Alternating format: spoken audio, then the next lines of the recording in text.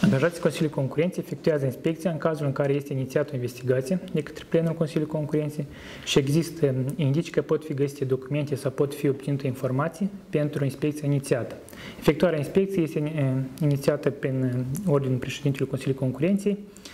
în care este indicat scopul, obiectul inspecției, eh, data în care începe inspecția, precum și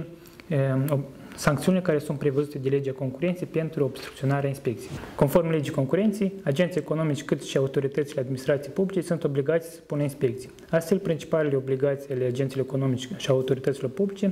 constau în faptul că se permite un colaboratorul Consiliului Concurenței să pătrundă în încăperi, pe teritoriu, mijloace de transport aflate în proprietate sau în folosința întreprinderilor, să permită colaboratorii Consiliului Concurenței să verifice documentele, înscrisurile, orice informații, indiferent de suportul lor fizic sau electronic, să prezinte la solicitarea colaboratorului Consiliului Concurenței informațiile și documentele în, form, în formă completă, să, să nu distrugă informații, înscrisuri, documente,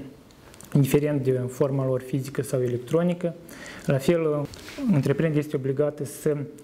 asigure integritatea sigililor în cazul în care în cadrul inspecției a fost aplicat sigilul de către colaboratorii Consiliului Concurenței și la fel în cadrul inspecției pot fi luate explicații, astfel agenții economici sunt obligați să